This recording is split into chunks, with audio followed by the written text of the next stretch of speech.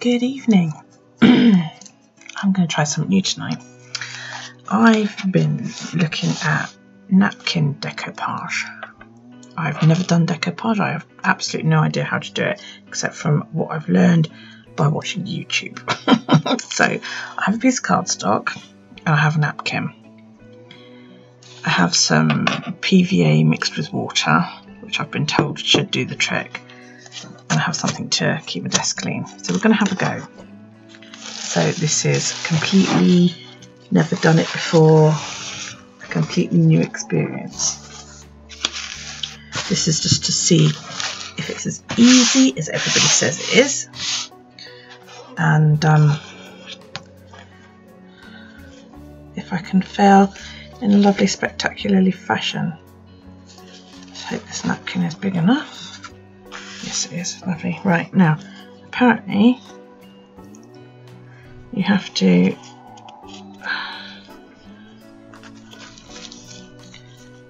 make sure you've only got one ply of it. I don't know the best way to do that.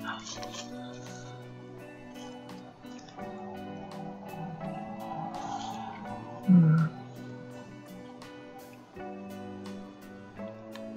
Oh god, my eyesight's no good for this kind of thing. This bit might take me a while.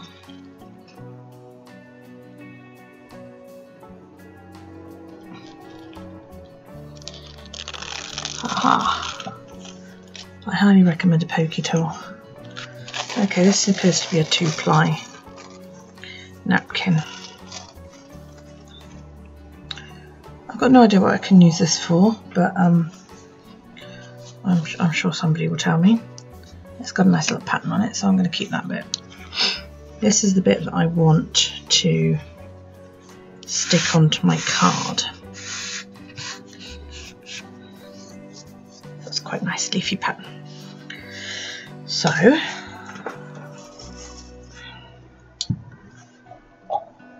open my glue. Only thing I've got to use is a spongy thing, which quite frankly needs a wash. Now, I think what I do is I wet the card down first and then we put the the napkin on top of it. I hope the fact that this card is slightly glossy won't um, affect it too much.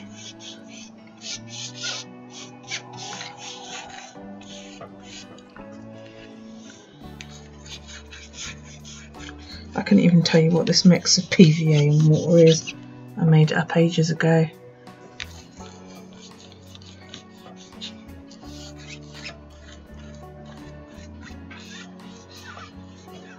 Right, that card is now quite soaked. I don't know how well you can see that. So I assume I just lay it on there.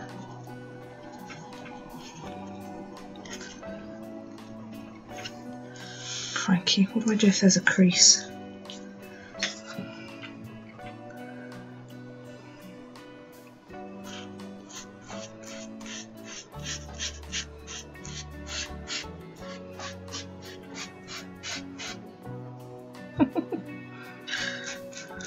okay, I don't know what to do if there's a crease. I don't know if it's sort of like, it feels very, very, very wet.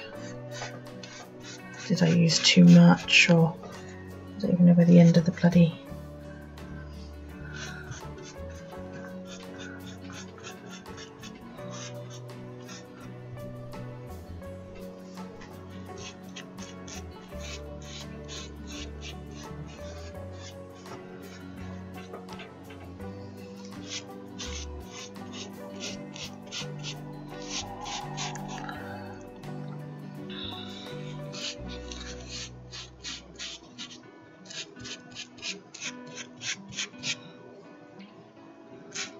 I've used a lot. I don't, I don't know whether that's right or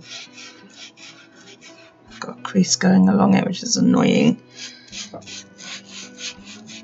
But it's so wet that if I try and pull it, it's just going to tear. Yeah, see I've already torn it because I stuck my finger to it.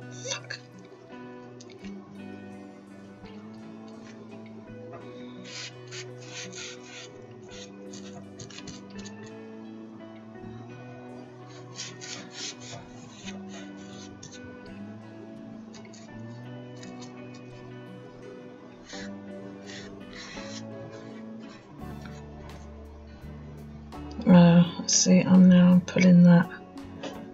Just pulled the napkin too much. Okay, that's. Uh... So I've made that too wet because it's actually like compromised the napkin there, but that's fine. At least now I know.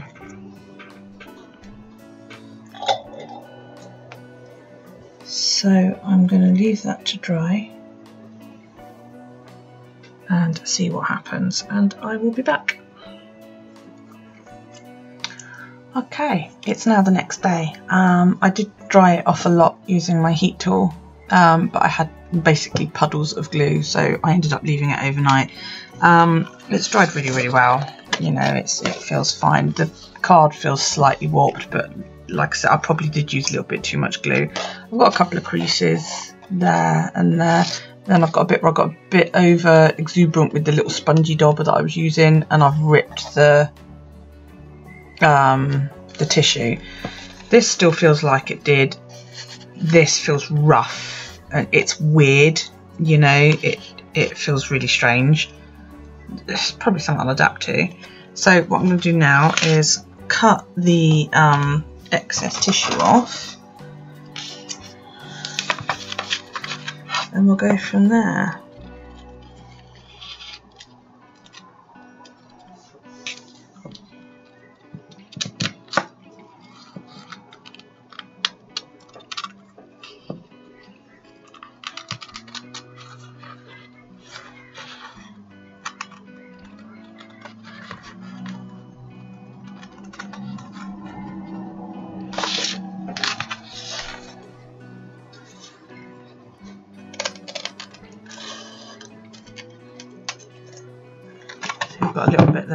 Overlapped.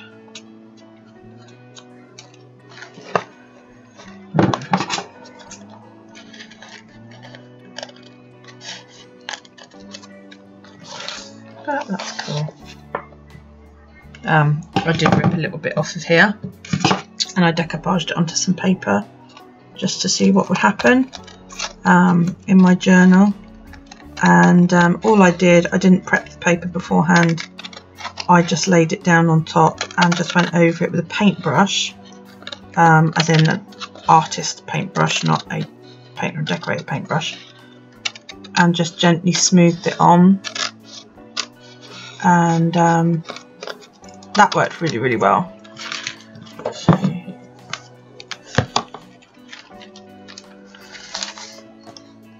you can even see like the dot grids come through it slightly this is self-printed dot grid. This is not a bought one. So it has come through slightly and it has bled a little bit. And it did warp the paper. And again, it, it feels rough. I suppose it would because you're basically paper macheing, aren't you? So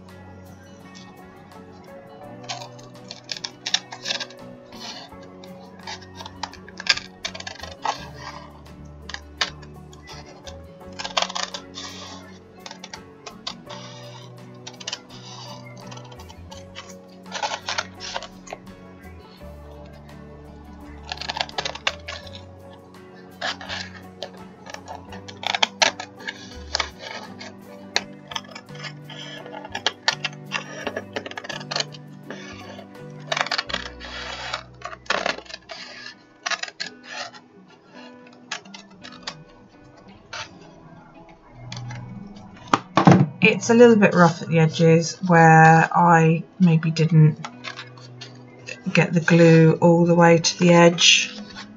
Um, but that I just put that down to you know it's a first time experience. It's bulky. Let's find something a little bit smaller.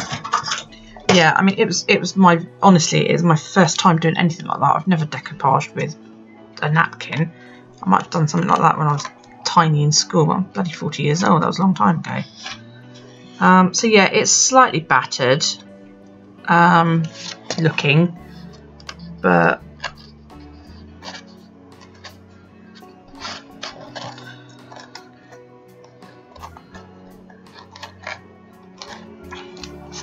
like that one in the corner it's not stuck down very well but that's going to be on the back of the um, book anyway I'm sure somebody said you could use a little bit of sandpaper to get rid of any excess.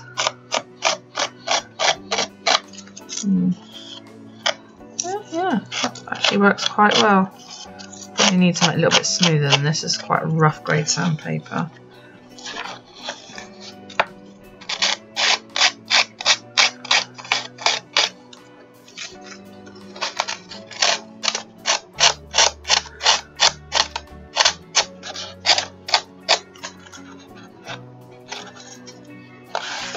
so there you go. That is now going to become um, a cover for a TN insert.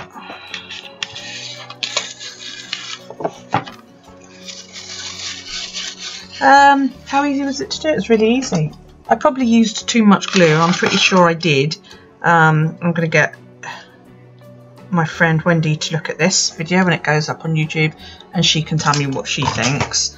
Um, I also think a brush was easier to use than that little sponge dauber. I just got a wide um, artist brush and did that. It was only a cheap one from the works or something like that. In a couple of places like there I've warped the um,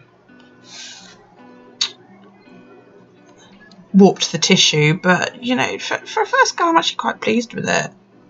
This side looks better than this side which is cool because that means I get to choose um, which side is going to be the front.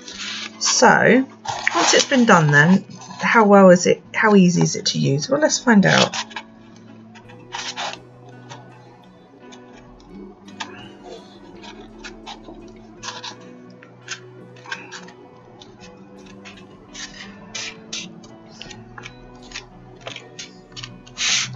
Now, ordinarily, I would run a bone folder along that, but I'm a bit reluctant to do so because I'm not sure whether it would compromise the um,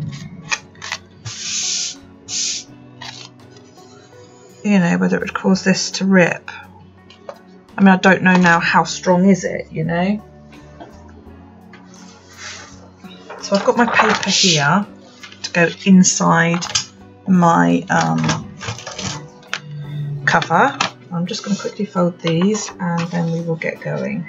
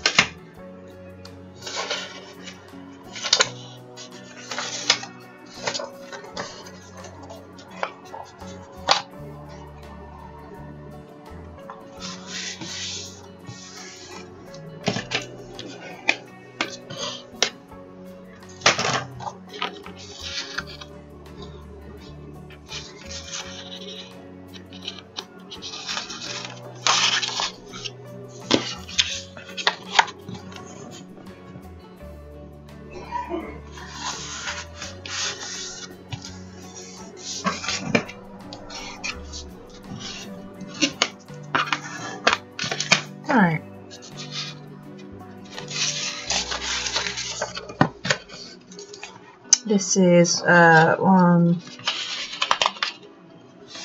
two, three, four, five sheets of paper folded in half. Um, I wouldn't do any more than that in a in a notebook because otherwise you'd start having the issue where your inside pages are sticking out. I will trim this down in a bit once it's all together you can see, look, the pages are sticking out way beyond the thing. Now, I have a stencil for punching my holes. And I've got a awl to do that with. Then you want some thread and you want a needle. It doesn't have to be a teeny, teeny, teeny needle, okay? It really doesn't. I use, I use that size. It's got a reasonably decent sized eye, but you can use bigger if it's easier for you.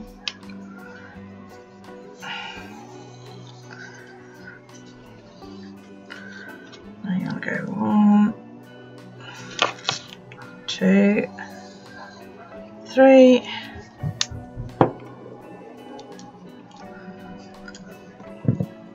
These ones are slightly bigger, I think, because it's easier to thread the damn thing. She says.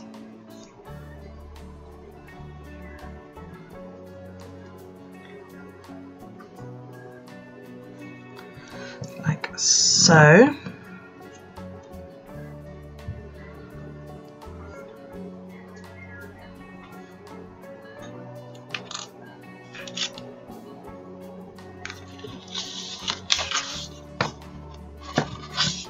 Right, I put my template in there. My template already has holes in. So what I do is I put my template right in and then I just go through my holes again until you can see the little awl poking out. And I do all of those like so.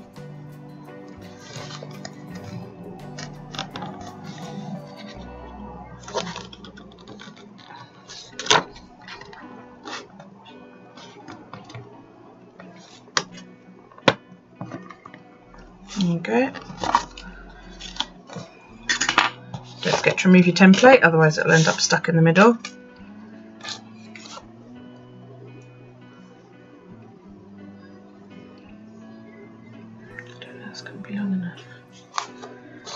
Right, now what I do is I start in the middle and I go out.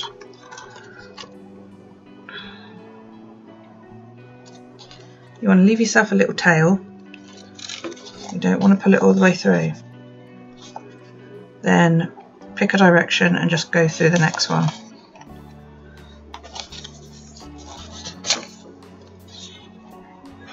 Always make sure your threads are pulled nice and tight.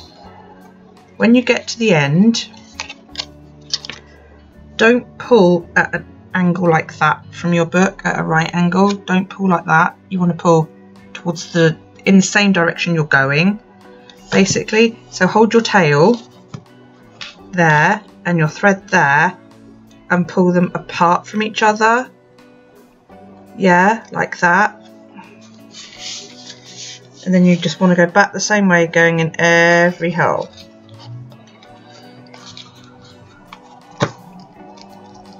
And always pull in the direction you are sewing.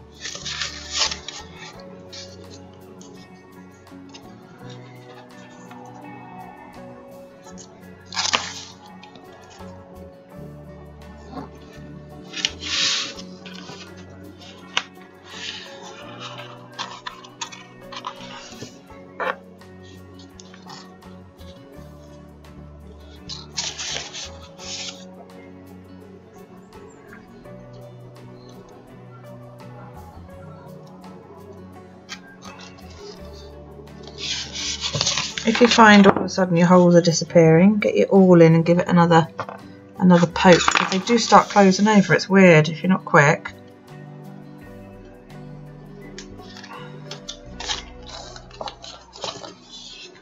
So do it and pull it in the direction you're sewing again.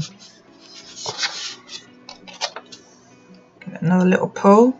So downwards, not out away like this, but down.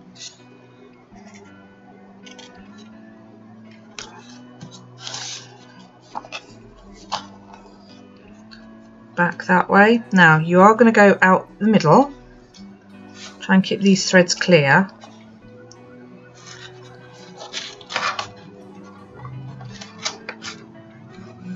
Right, when you get there, give it a little tug in that direction.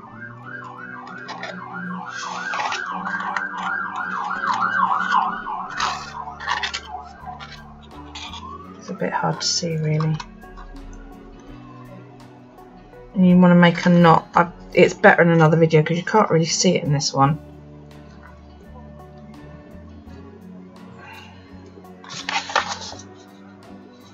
and then I go back through the hole. I've gone straight through that thread which is exactly what I didn't want to do because then I can't pull that tight. Okay so then I go back through there pull it so the knot comes through. Make sure these threads are tight as well. And then I just tie this in a knot inside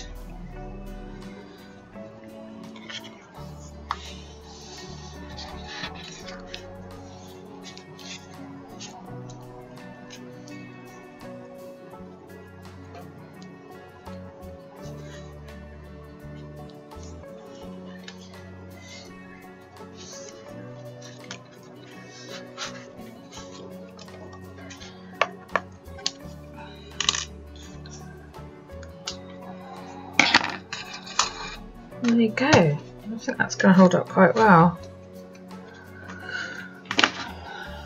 So what I'm going to do now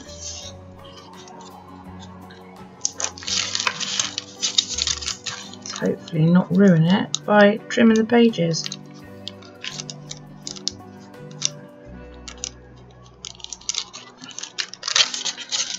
Put needle and that away. Okay.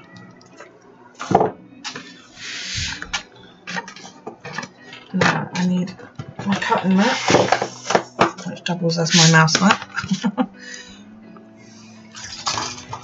I need a nice strong blade and a metal, not plastic, metal ruler.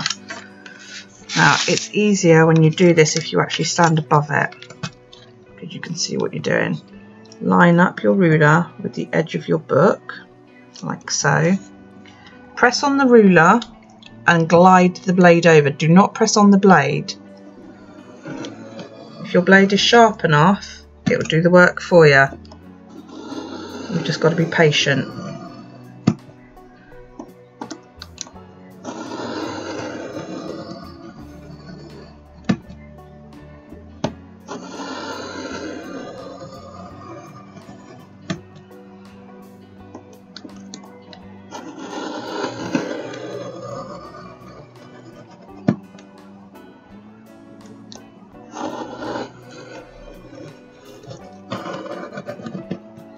Go, see, we're virtually at the end there, look. A couple of little goings over to do the other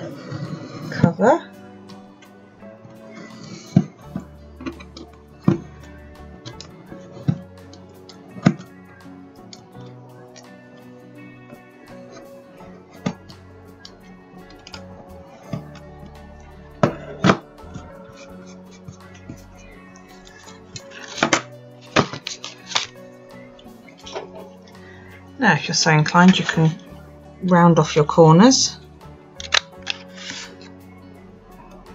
I love a rounded corner. I like the biggest one I can find. On this one, it's 10 centimeters. On my corner chomper, for the few days that it worked, it was the half inch. It never worked, my corner chomper, that's why I gave up with it.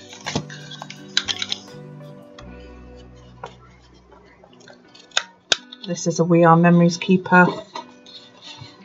Just three different sizes. All you do is you just push the paper right in until both corners are full and then you press. Easy as that.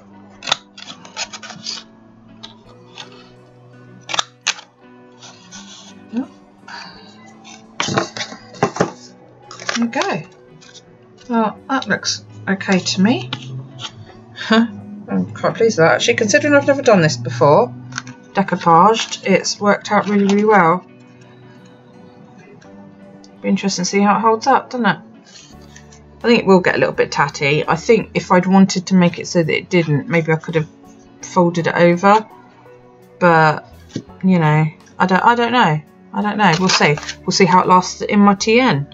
Um, if I don't come back and say anything and you're watching this a year down, you know, March 2020 or something, leave me a comment and ask me. How is it holding up? Did it hold up? Are you still using it?